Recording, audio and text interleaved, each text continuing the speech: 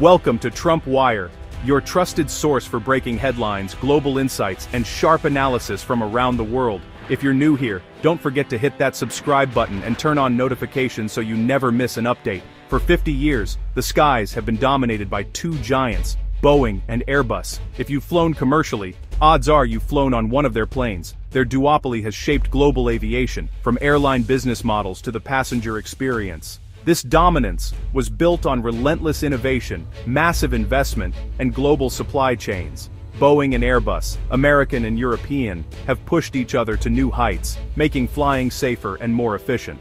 But the stability of this duopoly is now under threat. A new challenger is emerging from the east, backed by the full might of China.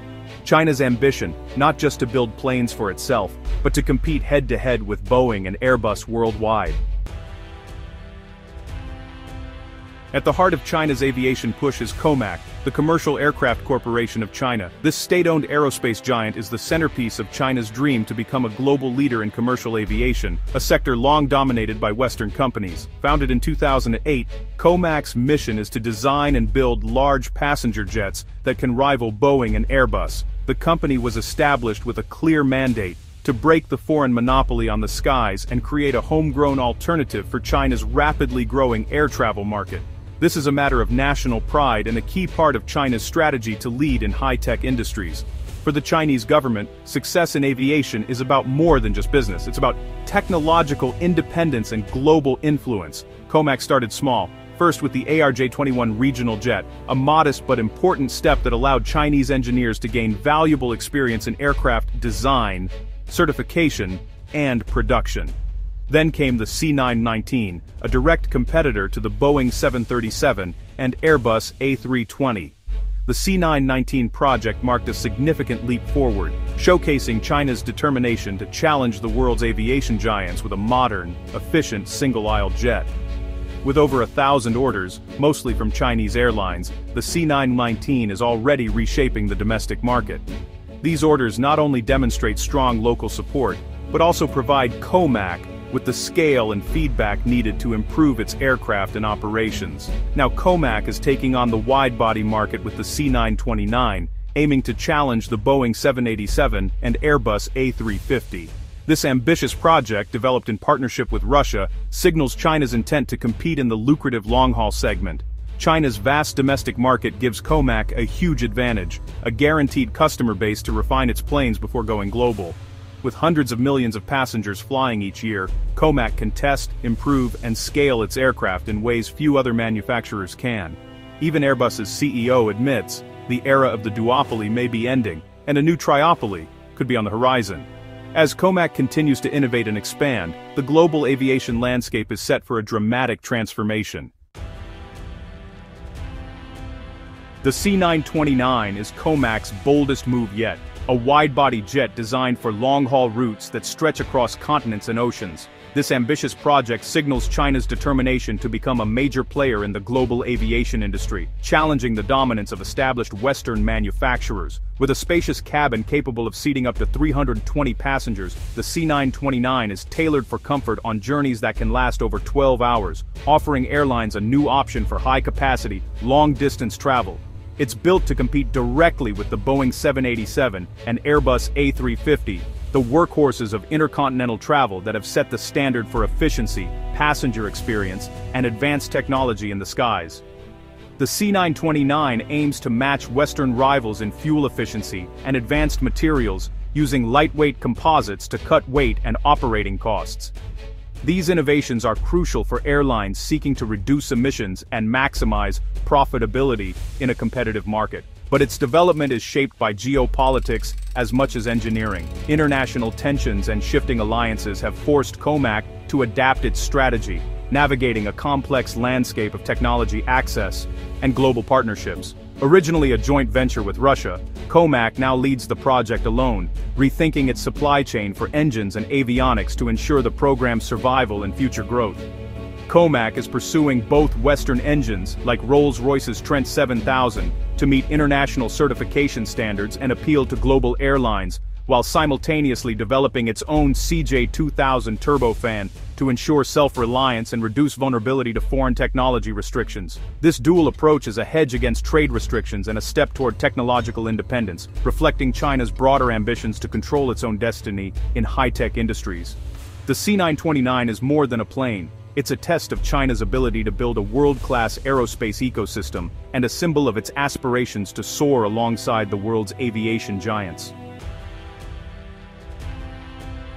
With US-China tensions rising, COMAC is pivoting toward Europe for technology and market access. European suppliers like Safran, Thales and Liebherr are now key partners, providing critical systems for the C929.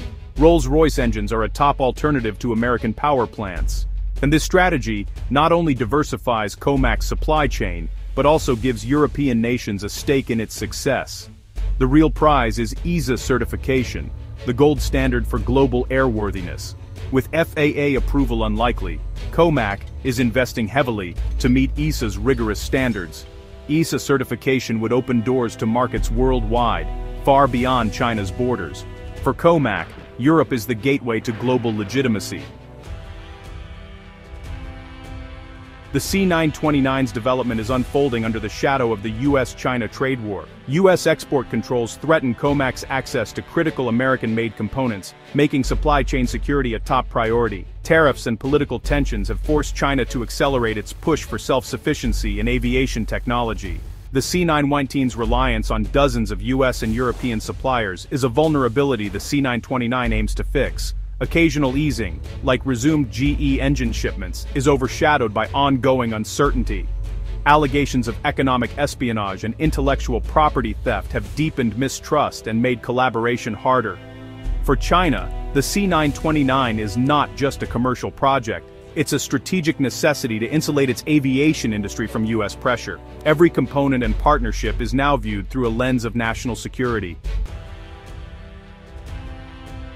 For the C929 to succeed globally, it must earn international trust through rigorous safety certification. Without EASA or FAA approval, its market is limited to China and a few allies. Certification is a marathon, thousands of flight tests, inspections, and documentation to prove safety and reliability. COMAC's focus is on EASA, seen as more politically neutral than the FAA. EASA certification would unlock not just Europe, but many other markets that follow its lead. However, European regulators will scrutinize every detail, and experts believe COMAC is still years away from meeting these standards. The journey to certification is a true test of China's technical maturity and transparency. Only with global approval can the C929 become more than a domestic contender. Alongside global ambitions, China is racing to build a fully domestic aerospace ecosystem. The goal a C929 made entirely in China, immune to foreign sanctions and trade disputes. This means developing homegrown engines, avionics, and every critical system, a monumental challenge. China is investing billions in the CJ2000 engine, aiming to match Western performance and reliability. Building a robust maintenance and training infrastructure is just as vital for long-term success. Some analysts predict a US-free C929 could be ready for China's market by the early 2030s. This effort shows China's determination to break the Western grip on aviation technology. The C929's future depends as much on this self-sufficiency as on international acceptance. The C929's arrival is met with both interest and skepticism from airlines worldwide, Airlines want more competition to break the Boeing-Airbus duopoly and lower costs. COMAC's biggest selling point is price, potentially 10-20% cheaper than rivals, thanks to China's scale and subsidies. This appeals to price-sensitive carriers in developing markets, especially those with close ties to Beijing. But skepticism remains. Airlines worry about reliability, maintenance, and resale value, where Boeing and Airbus have decades of data. Certification and geopolitics are major hurdles. Without EASA approval, most airlines won't even consider the C929. Trust issues, fueled by political tensions and IP concerns, make Western engagement cautious. COMAC must prove it can be a reliable, transparent partner to win over a conservative industry. The C929 is more than a new airplane, it's a symbol of shifting global power and ambition. For decades, the skies have been dominated by just two giants, Boeing and Airbus. Now, China's Comac is stepping onto the world stage, determined to challenge this long-standing duopoly, and carve out a place for itself among the industry's elite. If China succeeds, the aviation world could move from a duopoly to a triopoly, reshaping competition and lowering costs for travelers. Airlines would have more choices, potentially leading to better deals, improved service, and new routes. The ripple effects could be felt by passengers, manufacturers, and economies around the globe. It would validate China's state-led industrial model and inspire similar efforts worldwide. Other emerging economies might see Comac's rise as proof that they too can compete in high-tech industries once thought out of reach. But the path is steep. Certification, global support networks, and industry trust are huge challenges. Gaining international safety approvals, building a reputation for reliability, and establishing maintenance hubs across continents are hurdles that take years, if not decades, to overcome. Failure could confine the C929 to China's market, but even its attempt is changing the industry. The very act of trying is forcing established players to innovate, rethink strategies, and pay closer attention to emerging competitors. Boeing and Airbus are watching closely, forced to adapt to a new competitor. Their responses, whether through new technologies, partnerships, or pricing, will shape the future of commercial aviation. The C929's journey will define the next chapter in aviation. Whether it soars or stalls, it's already redrawing the map. Its progress will be watched not just by industry insiders, but by governments, investors, and travelers worldwide. As the story unfolds, we're witnessing a bold attempt to reshape the future of global aviation. The outcome remains uncertain, but one thing is clear. The age of the triopoly may be just beginning, and the world is watching every move.